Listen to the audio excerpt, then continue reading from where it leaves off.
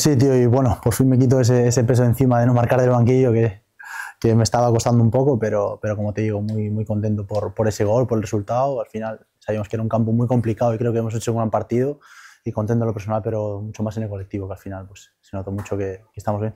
¿Qué balance es del, del punto? Porque ha habido sus dos palos, nos podríamos haber llevado la victoria, pero también en la segunda parte ellos han tenido para, para llevarse los tres puntos. Sí, hombre, también sabíamos que, que, iba a haber momentos que el Nastic al final es un equipazo, es un estadio impresionante y creo que, que, pocos equipos van a ganar aquí. Hicimos un trabajo muy bueno y como tú dices, esos dos palos que, que tuvimos nos pudieron poner por delante y ganar el partido, pero creo que también hay que valorar el, el esfuerzo de todo el equipo, el, el, punto es muy bueno y hay que hacerlo bueno la semana que viene ganando en casa. Que sabía del equipo, que siempre lo estamos pidiendo, que mejores primeras partes, que copas llegadas, y hoy ha sido así.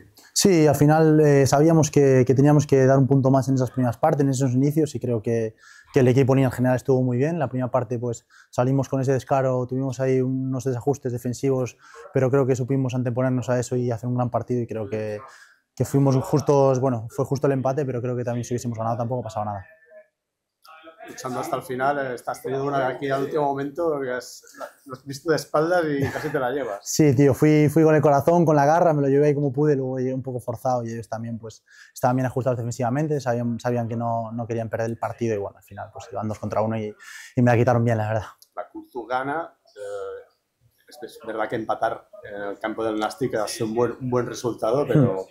es difícil ¿eh? perseguir a este líder. Sí, al final sabemos que, que la Cultura lo está haciendo bien, está haciendo muchos puntos en campos complicados, pero creo que también tiene mérito lo que te digo, sacar un punto aquí, creo que es un partido muy, muy, muy que nos puede reforzar mucho a lo largo de la temporada y creo que, bueno, que esta liga es muy larga todavía. Hacer el punto fuerte, hacer el punto bueno la semana que viene en casa, ¿no? Sí, tenemos claro que, que, esta semana tiene que ser un partido en casa de, de, dominar, de hacerlo bien, de llevarnos los tres puntos y, y hacer bueno este punto que creo que nos va a venir, venir bien a todos.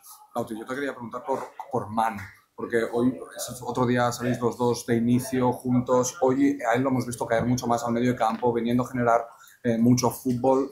¿Cómo, ¿Cómo, está siendo esta relación de, de, los dos delanteros? ¿Todavía no ha llegado su gol? ¿Cómo, ¿Cómo lo estás viendo? Pues bueno, Manu creo que es un jugadorazo, creo que, que ahí en la media punta es donde, donde él mejor se maneja, hay que dejarle, dejarle su espacio que reciba, que conduzca, que golpee y creo que, que en línea general está haciendo muy muy buen trabajo. A mí, ya te digo, me da la vida porque me deja mucho espacio para, para transitar y para correr, pero creo que, bueno, no llegó ese gol todavía, pero seguro que va a meter muchos.